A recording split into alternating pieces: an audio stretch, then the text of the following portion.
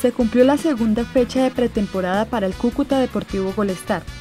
Las rojinegras consiguieron su segunda victoria tras vencer 4 por 3 al equipo verdolago.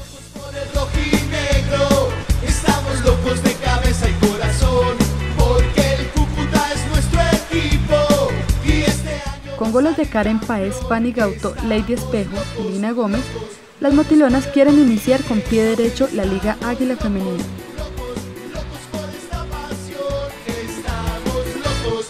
Estamos